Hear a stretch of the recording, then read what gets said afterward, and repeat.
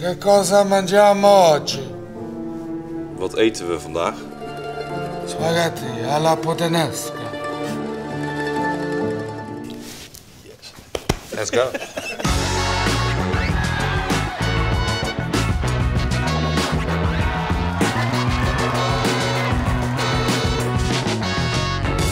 Nou, die paardenkop, die ligt in bed. Dat is geregeld. Heb er trek van gekregen. Ja, dat is toch hard werk, hè? Toch werken voor je geld. We gaan vandaag een spaghetti alla puttanesca maken. Dus eh, ja, eh, hoe je het ook bent verkeerd, op hoerenwijze. En, eh, Italiaanse hoerenpasta. Italiaanse hoerenpasta. Ja. Die kan er niet omheen. Nou, we beginnen natuurlijk met de spaghetti. Yes. En dan hebben we daarvoor olie nodig. En wat gaat er door de saus per? We gaan lekker zelf een tomatensausje maken. We hebben namelijk heel weinig ingrediënten, dus we gaan lekker veel zelf maken. Tomaten. Daardoorheen gaan hele mooie olijven, knoflookie, kappertjes, chili en natuurlijk zout. De zout gaat ook in, eh, in het pastawater. En natuurlijk prachtige parmezaanse kaas. Ansjovis. Heel belangrijk. Niet te vergeten. Echt een hele belangrijke smaak. Een hele mooie zoute smaak.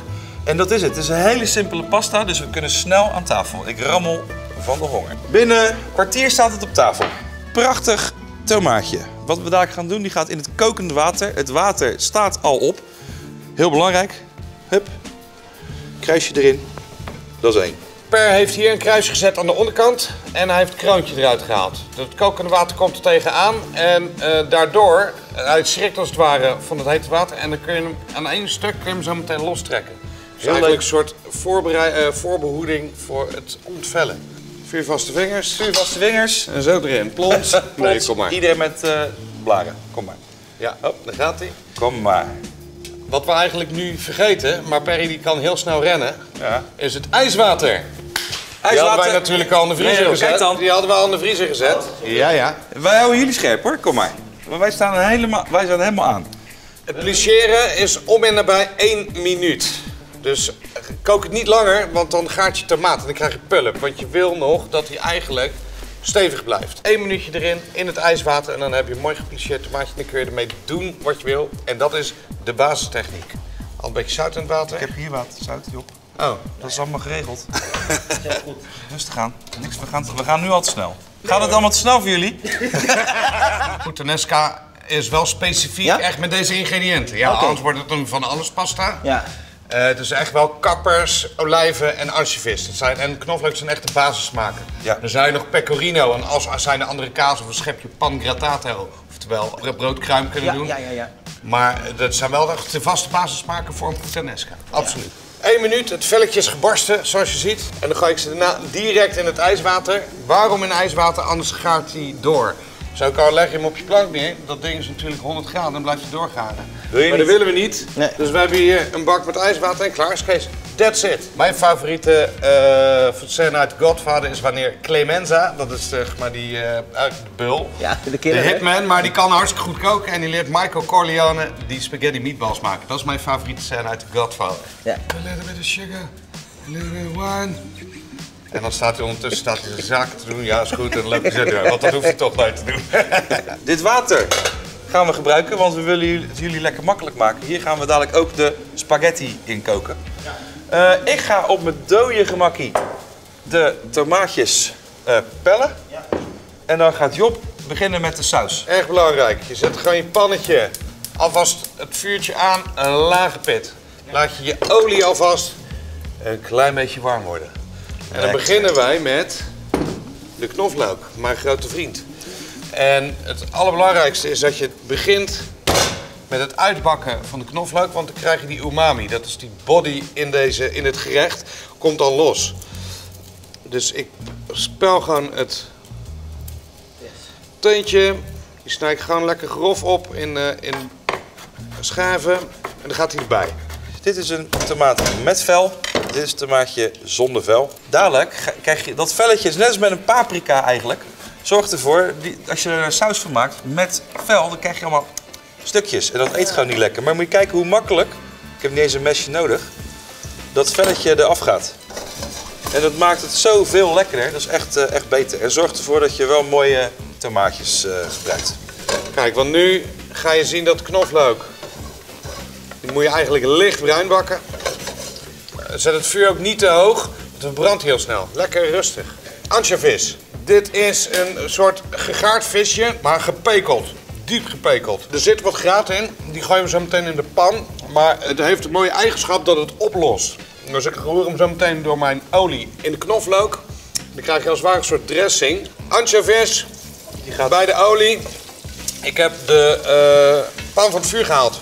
Omdat de knoflook bijna aan het verbranden was. Maar hij zit op het randje. Dus dat kan ook gebeuren. En dan, nu gaan we lekker op ons gemakje de anchovies oplossen. Hoeveel minuten? We hebben nog, nou, ehm, als jij hem er nu ingooit, hebben wij acht minuten of zo. Ja.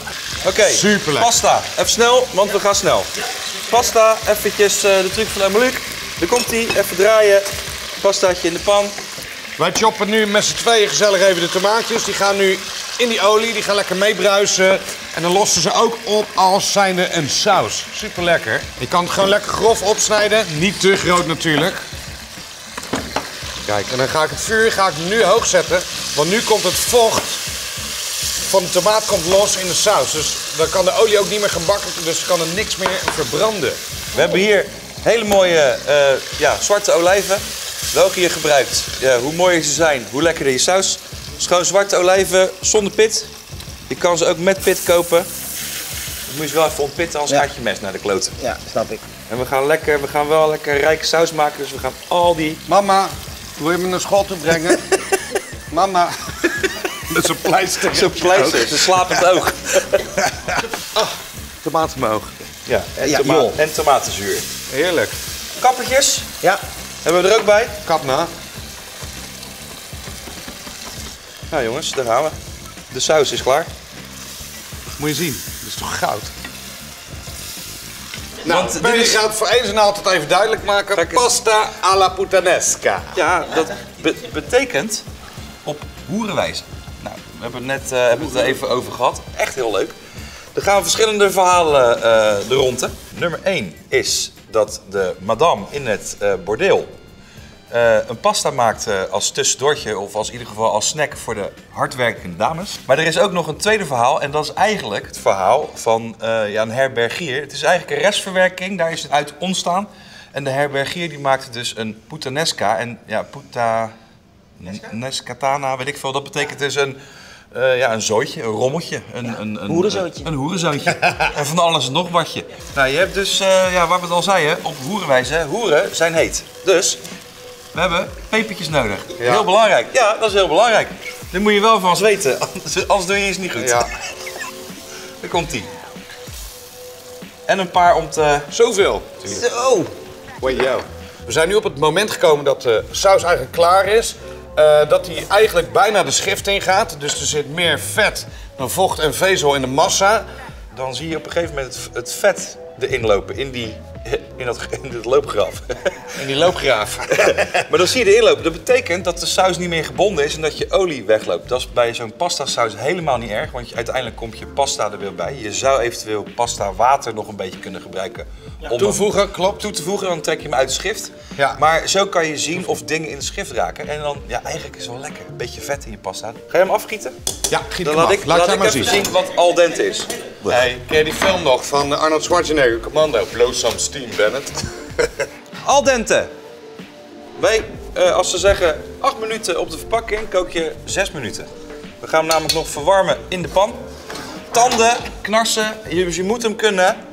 Er moet een knakje in zitten. Ja. En dat is heel belangrijk. Hij is nu aan het wasemen, dus wat, wat er gebeurt, het vocht dampt uit de pasta. Dat betekent, zodra deze weer in de saus gaat, dat hij ook weer smaak opneemt. En nog één minuutje door kan garen. Even op het vuurtje, die gaat erbij. En dadelijk kan de pasta erbij door de saus. En dan zijn we klaar. Nou, ik heb mijn borden warm. Perry, ga jij lekker de saus mengen? Nou, nu kan het vuur uit. Alles is warm genoeg. Hey, Nou, ze zijn warm, maar ik kan ze toch nog net beet houden. hoor eens even, dit is sexy. Kom eens, kom eens, kom eens zo. Dan weet je dat hij goed is. Klein beetje olie erbij. Klein beetje olie nog. Olie. Nou kijk, als je een pasta ook nog sexy wil presenteren... En je kan hem gewoon op een bord scheppen, maar dat willen wij niet. Moet hem eigenlijk één keer erin stoppen, eruit halen. Dan gaan we weer. Het is een puttanesca. Ja, het, het is ik, kijk, ik, Nou, en dan nog 40 Ik wou- keer. En dan ben je klaar. Ja hoor. Ik steek hem erin, ik haal hem eruit. Ik duw hem naar voren en ik steek hem er nog een keer in. Kijk, en dan heb je gewoon een goede greep pasta. Let op. En die leg je neer. En dan draai je hem. Kijk. Hop. Dit is lekker. Heerlijk. Spaghetti alla puttanesca. Kijk eens. Heerlijk. Echt top. Super. Ga ik jullie nog één dingetje leren. Dat gaan we voor eens en voor altijd even uit de weg eh, Here we go. halen. Oh jee. Spaghetti met mes en vork eten, daar staat de doodstraf op. Ja. Dat doe je niet. Je gaat niet soort van chop chop Dan ga je in eten. Italië ga je gewoon een kofferbak in en dan gaan ze Ja. een rondje met je rijden. Dan krijg je een paardenkop Dat is in je toch bed. handig? Ja. Ja, Dat is hartstikke handig. Als je handig. een stokje, dan kan je met je lepel Weet je wat gewoon. ook handig is? Gewoon een magnetronmaaltijd kopen en dat in de magnetron gooien. Job doet het al goed. Dus je pakt, eigenlijk net als met die pincet, pak je een stukje eh, pasta. Kijk. En wat je doet,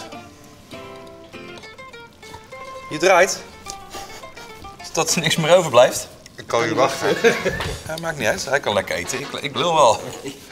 Mm, kijk, en dan heb je een hapje pasta. Dit is zo lekker. Het ging al heel snel. Maar loop hem nog even na op 24kitchen.nl. Zo simpel is het. Dit was hem. Zo simpel is het, zo simpel blijft het. Simpeler dan simpel, zeg je altijd. Hiermee eh, moeten we het doen. Ja, jongens, wij gaan even lekker verder eten. Succes thuis en tot de volgende. Ciao. Ciao belli.